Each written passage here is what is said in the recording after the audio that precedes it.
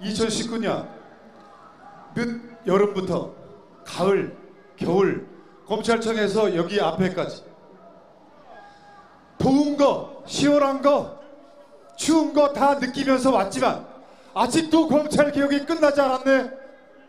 아직도 그만큼 민주주의는 힘든 겁니다, 여러분.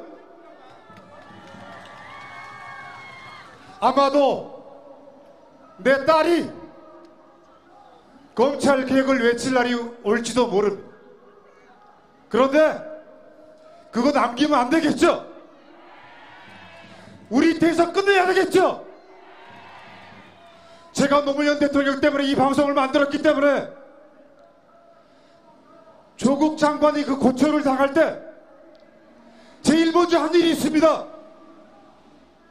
날마다 조국 장관의 안부를 SNS로 묻는 거였어요.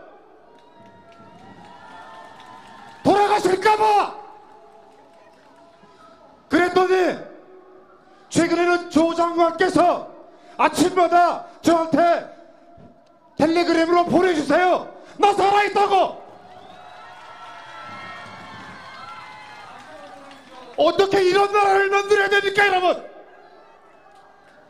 세상에 어떤 공무원이 일거리 줄여주겠다는데 일 더 하고 싶다고 나서는 공무원이 있다니까요. 님이 뻥이다, 이 새끼들아! 그냥 상식적으로 갑시다. 여러분들이 있는 한 검찰개혁 언젠가는 돼요. 언젠간 되는데 최대한 빨리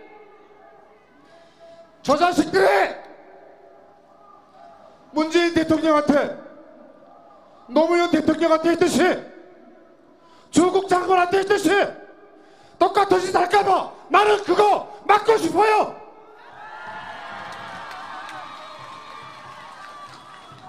정말 지겹네요, 정말. 지긋지긋하네요. 힘드시죠?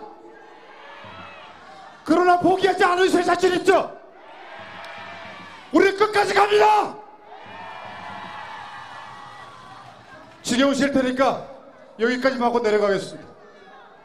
한 말씀만 드릴게요.